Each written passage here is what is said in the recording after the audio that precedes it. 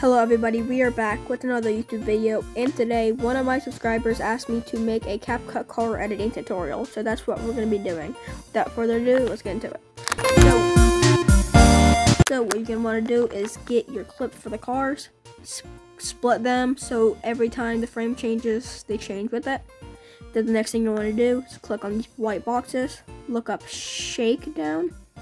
Then what you're going to do that is you're going to click it and push apply to all. After that, click on any of these frames. You're going to find cross shake and apply that to every frame.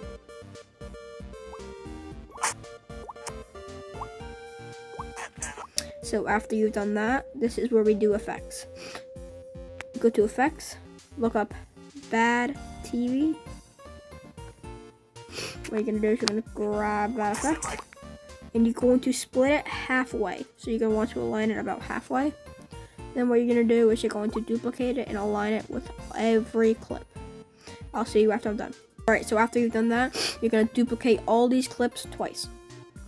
Alright, after you've done that, you're going to open effects and look up black flash. You can use either one. I'm going to use this one. I'm going to turn the speed to 25, the intensity to 10. And I'm going to have it extend out the whole clip. Now for the next part, we're going to look up opaque blur. Now once you found that, you're going to make it about that much. So you're going to want to make sure that's only there for around a split second. So around right there. Now you just go and clip it and do the same thing you did with the other effect and just align them with all the other clips. Alright, once you've done that, duplicate it once on each frame. Alright, done. So now you don't have to do this, but I do.